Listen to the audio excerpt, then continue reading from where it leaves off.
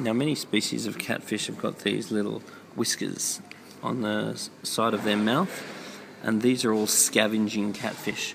What they basically use these whiskers for is they've got very acute sensor systems in them, and these whiskers actually help them detect anything organic which might be in the substrate that they might be able to feed on, especially in low visibility or in like a muddy bottom.